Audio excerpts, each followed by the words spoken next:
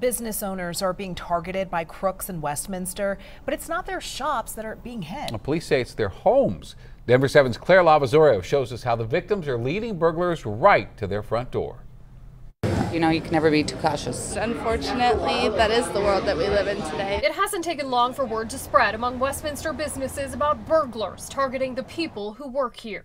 Gina Lucero owns Lucero's Tavern. She says she first heard about the crime trend on social media. This our livelihood. Yeah, takes one rock.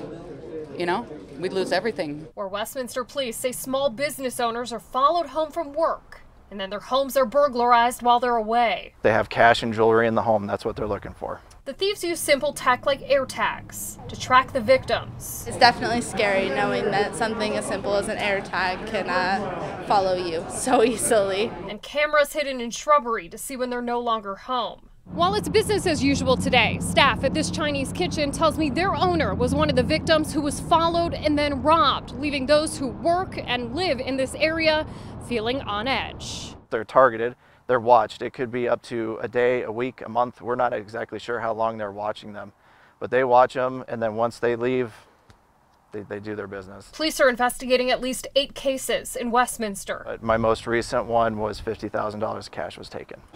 Employees at Lucero's Tavern say they're thinking about this every day.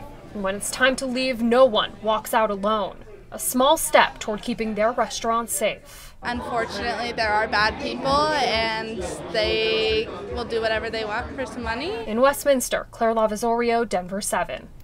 And who's behind it? Well, so far, police have arrested six Romanian nationals, and they are still searching for more suspects.